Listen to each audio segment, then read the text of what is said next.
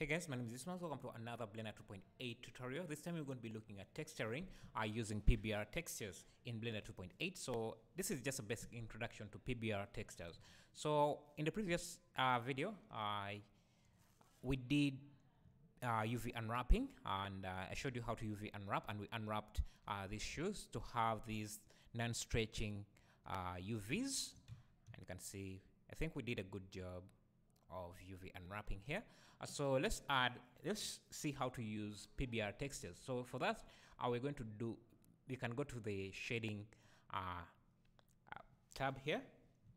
And uh, yeah, so to, to, let's have a brief introduction to PBR textures. So uh, if you're using the principled shader, which is something I recommend you should be using, uh, you can see these nodes here. You have base color, subsurface, uh, all these here, and they have input nodes uh, where you can add uh, texture maps. So if you're using PBR textures, these are standard textures used uh, by different 3D uh, applications, uh, Cinema 4D, 3ds Max, uh, any any professional 3D application. so, and the way they they and the advantage of using this is that whatever application you're using, if you add, if you use the same PBR textures, you will see the same results. So they will give you the same uh, renders. So, and uh, it kind of avoids uh, having the same materials uh, in one application, but uh, looking different in a different application. So that's why you use te uh, PBR textures, and they make your your textures more look more realistic and also it makes the workflow much easier. So to do to use PBR textures, obviously you're going to need PBR textures, and uh, there are few resources you can I would recommend. You have uh, Texture Heaven. This is a, a website where you can download free free to use uh, textures. You can see uh, it's Creative Commons uh, license, uh, so you can use them and on, on how is it called? Uh, you can use them for free and also for, co for commercial purposes and everything. Uh, so this is the guy behind this website. And uh, if you have some spare change, uh, you can consider donating. And uh, there's also another a website called CC0 Textures, and it's also the same thing. Uh, you can use uh, these textures as you want, and he has also a Patreon page. If you want to support him, you can do that. Uh, it's a very he, they they're really helping out, and they're providing these high quality textures. You can see all the textures come with a, a normal map that you can feed in into the normal node here, uh, a bump map, sorry, a color or diffuse uh, map that you can uh, feed into the uh, diffuse here. Let me maybe, yeah, so again, so these are just images that you feed into, image maps that you feed in, in different nodes uh, that you see here. So, and this is a good example of what uh, we are supposed to do. Uh, so you begin with a, a, color texture, which is this, or the diffuse texture that you feed in the base color. You have the subsurface, but because bricks don't have subsurface, that's why we don't have any subsurface map in the in here. Uh, so, but uh, we have surface radius. Uh, if you have that uh, surface color, if if your object or textures have surface color, you can feed it in that. We have metallic. I think uh, metallic would be this one here. Uh, so this, uh, the metallic node uh, is what uh, tells Blender what parts of the object or the material should be rendered as metallic or non-metallic, and you use that map for that. So we also have, let me first slide this. We have specularity, uh, that is obvious, specular. Uh, specular color, we have uh, roughness. This is just how much shiny or roughness this, this, the surface of your object is going to be. So one is uh, complete roughness, no reflection. Uh, zero is uh, full shine, fully shiny like a mirror surface, polished mirror surface. so I think I'm not sure which map would it be here. So I think it's this map here. So the black areas would be areas that are going to be shiny and uh, the white areas are going to be uh, the ones that have less shine on them. I also have uh, the height map. So any of the black uh, maps here could be the height map or anything. They are well named, so I'll show you how uh, they work so and uh, we also have so different um, different nodes here so uh, the great thing about these uh, websites is that uh, if you go to browse textures maybe let's go to this as well. So let's find let's find something metallic and see. Brushed metal. Brushed metal.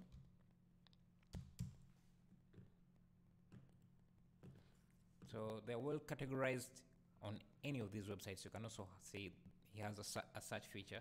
So maybe let's go for this material here they come they come packed into a zip uh, file containing all these maps. So you can see the ambient occlusion diffuse displacement normal map. They're all well named and uh, you can just uh, plug in plug them into any node that uh, uh, that follows uh, the name of the map. So and not every texture or surface has to have an anisotropic surface or subsurface surface. So if it doesn't have uh, that map, then you don't have to add it there.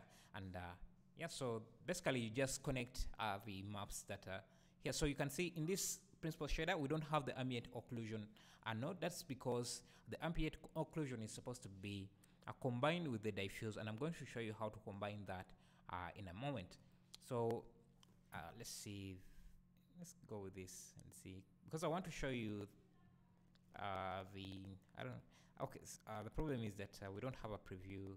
I want to I don't want to download this because I already have them downloaded. Uh, but uh, I think this has an an anisotropic node or map so you just plug it in here uh, because it's a brushed metal. So let's go and find some PBR textures that I downloaded and uh, apply them. Uh, because we already have the model UV unwrapped, it's going to be very easy for us. So you need to have the UV, uh, the model UV unwrapped. So let's go add an image texture and then find other textures. So I have them under textures and you can see I have downloaded some of these. I don't, I'm not sure where I downloaded because they are mixed. I usually get them from Texture Heaven or CC Texture. So it's a mix here. So let's go to this. Uh, you can see this one has a color displacement normal and uh, roughness. So let's get the color and uh, you connect this to the base color. And you can see the texture is already there. Uh, it is fully transparent. It's fully reflective because uh, the roughness is now zero is zero zero which means fully rough full roughness. But uh, if we bring it up you can see we get that uh, zero roughness zero uh, finish or reflectiveness. Uh, but uh, some parts here are supposed to be are supposed to have some reflectiveness. That's why we use PBR textures to uh, to get uh, those parts. So we can duplicate this then find the roughness texture or map then connect this to the roughness map. So this you can see if we go at, at an angle, you can see some areas are fully rough and some areas are not. I guess, I don't know, this material, this texture is not really giving the effect, is not uh, as, is not, doesn't have pronounced uh, effects as I, just to demonstrate what I want. So let's find a different uh, PBR textures. So let's see. Leather, leather. There is a different leather material I had here.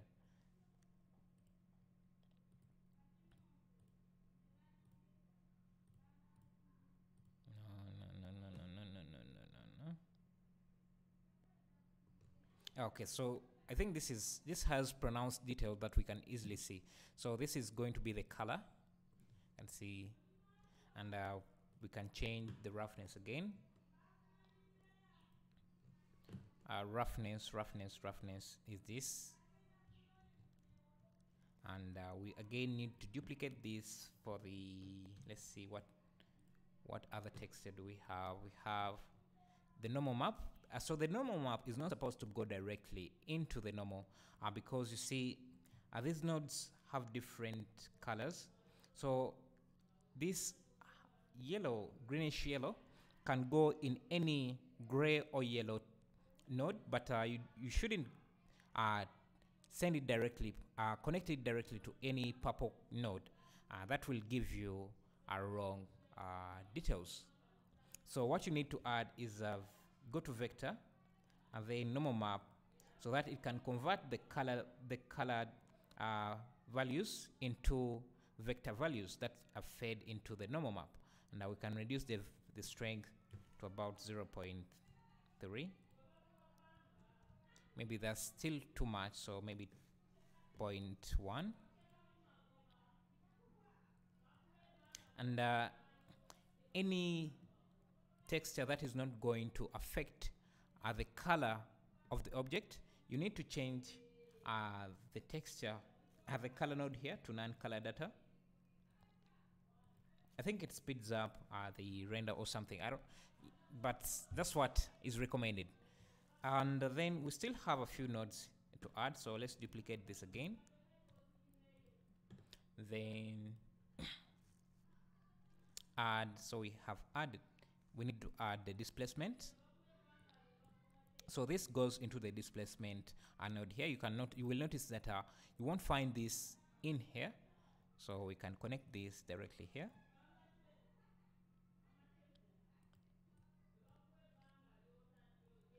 let's first remove this and see if that is working.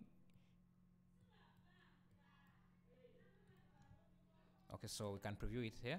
Um, and that's too much. So you can see in this value here we don't see any option to reduce uh, the strength here. So the way you can reduce the strength is by adding a color invert uh, input. And uh, you can reduce use this factor here to reduce uh, the amount. So if you go below 0.5 it will just invert uh, the map but uh, if you, you but you can use the values around 0.5 and above to reduce the amount. The bumping there so maybe around that. Then let's reconnect these let's again bring this up back to 0.3 so that we have those details pronounced. Connect the roughness again to roughness and uh, the color to color.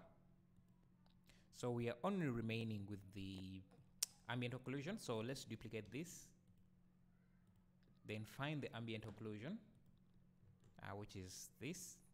So the ambient occlusion doesn't have an input here so we need to mix it uh, with uh, the color texture here. So color mix RGB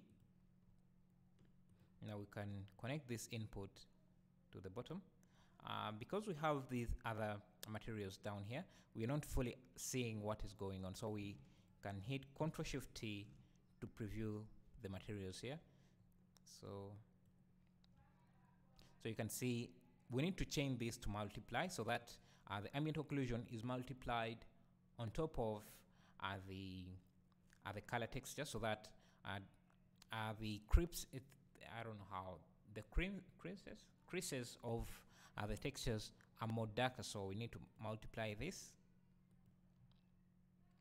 I don't know if you can see the effect you see it darken it darkens those impressions in the texture. So let's go back. So that's how we use PBR textures but you can see that uh, these textures are too big so you can either go to the UV editor and uh, scale this up. So that uh, the textures are more smaller or but uh, that uh, requires you to edit the UV the UV map and uh, we don't want to, you to do that. If we ask if we already have a UV map that we already happy with we don't do we shouldn't do that. So you can go to the shading. You shouldn't do that. So you can go to the shading and then hit Ctrl T. Uh, you need to have node wrangler for this to work. I think uh, in 2.8 it's going to be uh, turned on by default so you don't need to enable it anymore. And then you can uh, increase the size here. Let's try 5 5 and 5 so we are you're not seeing any changes right now because there are a lot of things going on here. So we can just isolate this and preview only that. So so it was this size. And uh, when we added 5 5 so this is scaled to a scale of 5 instead of 1 and we need to use uh, this uh, mapping for every node here. Let's again turn this back on. So we need to turn this to use this for the uh, roughness as well and the normal map. And also don't forget uh, the displacement. And you see we have that. So again if you want to control any of these inputs because you see whenever you connect let's say a roughness this roughness here to the roughness node you lose your ability to control the roughness directly here. So what you can do is again either use an, an, an invert uh, node so input color invert and you can reduce it that way. Or to have better control you can just use a color mix RGB connect this to this. Uh, but uh, to preview what is going on here we can uh, uh use control T to preview just this node here now you can see what we have. I change this to multiply. Change this to white. Maybe this is supposed to be the top here. And whenever you change the color here you can control uh, the the roughness like that. So by making it full white are you giving it that uh, um, you're making it more shiny. Let me show you. You're making it more shiny less shiny. Anyway so you can't really see it here. Uh, let's see let's see let's see. Yeah you can see it but uh, it's very settled. Uh, you can see this area here. So we are not overriding the entire texture but we are getting some bit of control over how things should look. And uh, yeah. So you can again come in and uh, use a different texture for, for this for the sole I don't know what texture I used. It's the same